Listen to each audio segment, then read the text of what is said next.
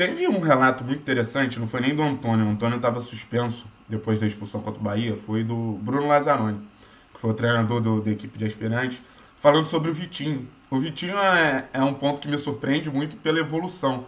É um jogador que se destacava sempre pelos gols e gols muito bonitos, mas vem, vem sendo um jogador que recupera muita bola no campo de, de ataque, vem sendo um jogador que tem um poder de construção, dando muita assistência, criando muita jogada.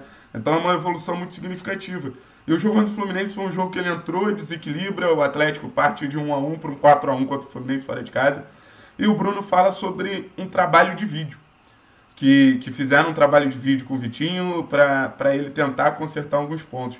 E a gente vê algumas melhores específicas e crescimentos bem significativos no Atlético, de um próprio Abner, de um Richard, de um Pedro Henrique, de um Marcinho, de, de peças assim. E, cara, vocês da Futre que fazem um trabalho que, que tentam invadir dentro desse mundo do futebol, não sei nem quantas edições do The Pitch Invaders vocês já, já produziram. É, queria uma explanação sua. Qual é, qual é o grande papel de uma comissão técnica dentro de, desse processo de evoluções específicas dentro do elenco? Eu acho que é total, sabe? Porque até quando eu estava fazendo o curso de, de, de, treinador da ATFA, eles focam muito nisso, né? Nessa relação.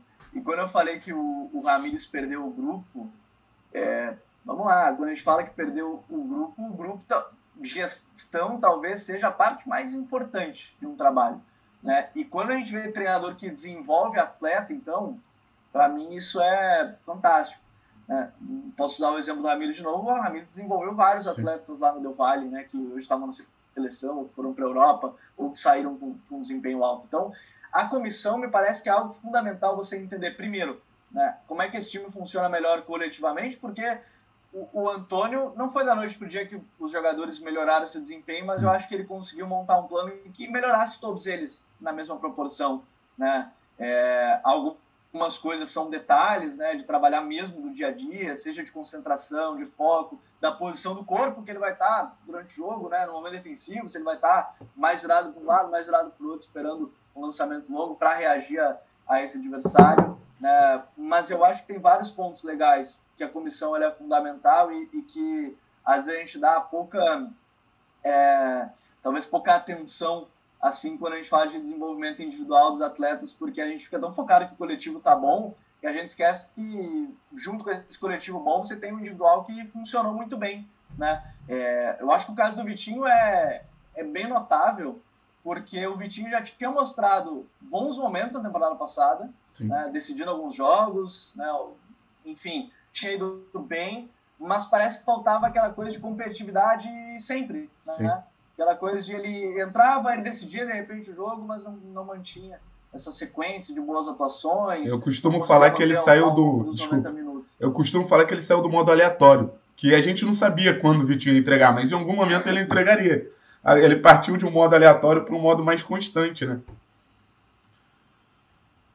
É, e eu acho que isso é tão importante quando você tem um jogador diferencial.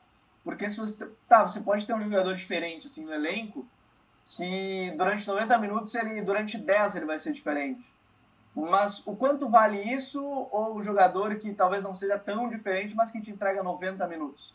Pô, se o cara te entrega 90 minutos, não precisa ser 90, vamos lá, se ele te entrega 70 minutos de alta competitividade, você tem um cara que vai ser diferente. Né? Pode não ser o primor técnico, mas ele vai ser diferente. Então, acho que o trabalho de vídeo é legal, né, que, que, que, se cita desses jogadores, dessa melhora individual deles, porque eu acho que a comissão é muito importante para melhorar um trabalho individual, porque é, eu costumo dizer que quando a gente está de fora, é, eu leio muita gente falando, não, porque eu tenho a solução para isso, eu tenho a solução para aquilo, e assim, a gente nunca perde um jogo, né? O analista nunca sim, perdeu um jogo, sim. nunca perdeu. É, ele ele tem a solução, ele acha que tinha que escalar aquele jogador, que não tinha. É, na, na Eurocopa, para mim, ficou muito claro, por exemplo, com o Saltman. O Saltman ele escalava fulano e ciclano. Não, mas ele tinha que escalar... Pô, ele chegou na final, assim. Sim.